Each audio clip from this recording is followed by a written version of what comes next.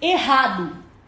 Por isso que eu tô te dizendo, é um, é um exercício básico que 99% das pessoas fazem errado, que é melhor nem fazer.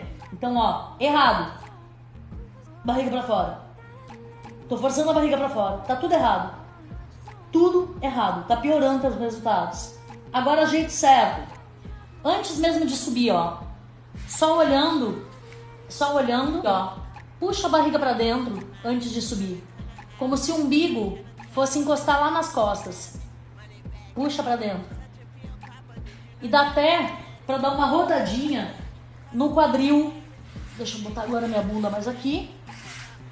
Ó. Em vez de deixar o quadril assim, deixa o quadril assim. Pode deixar ele rodado um pouquinho, para facilitar puxar a barriga para dentro. Então, em vez de assim, assim. Certo?